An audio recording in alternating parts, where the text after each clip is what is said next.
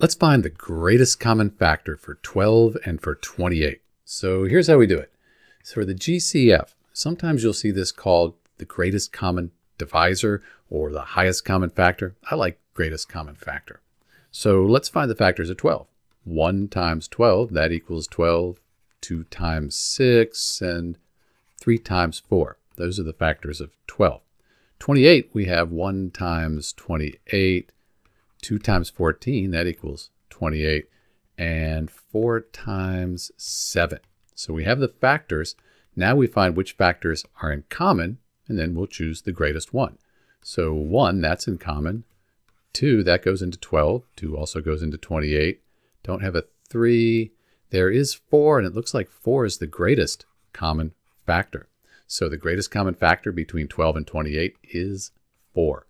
You can do other methods here like prime factorization, get the same answer. With smaller numbers, this is usually easier though. This is Dr. B. Thanks for watching.